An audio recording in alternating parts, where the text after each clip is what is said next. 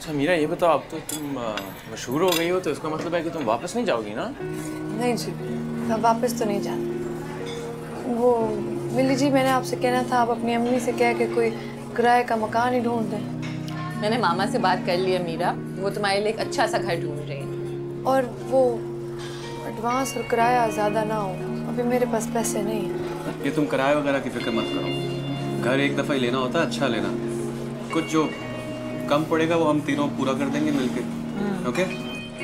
और मैं भी देखूँगा कहीं अगर मुझे मिला तो मैं भी बता दूँगा। मीरा तुम्हारा फ़ोन बज रहा है। पता नहीं जी कोई नया नंबर है। मैं नहीं जानती। कोई खा नहीं जाएगा तुम्हें उठाओ तो। उठाओ।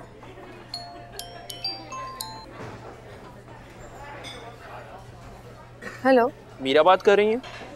जी। मैं क्रिएटिव प्रोडक्शन से हसीब अली बात कर रहा हूँ ड्रामा डायरेक्टर मैंने आपके बैंड का सॉन्ग सुना था। माशाल्लाह बहुत अच्छा गाती हैं। जी शुक्रिया। मैं अपना ड्रामा सीरियल स्टार्ट करने जा रहा था और मैं ये सोच रहा हूँ कि उसका ओएसटी आप गाएँ। जी drama S T O S T Meera गाना। जी जी। अगर आप हमारे ऑफ़िस आ जाएँ तो सॉन्ग की डिटेल और पेमेंट के हवाले से हम बातचीत कर सकते हैं। तो फिर क्या हम कल मिल सकते हैं? नहीं जी कल तो नहीं हो सकता। मैं अपने दोस्तों से पूछ के आपको बताती हूँ। दो तीन दिन में बताऊँगी। ओके खुदा हाफिज। मैं आपकी कॉल का वेट करूँगा। खुदा हाफिज।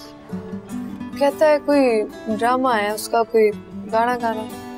वाह मीरा क्या बात है। अभी से तुम्हें ड्रामे के लिए ऑफ़िस आ रही है। एक्सीलेंट।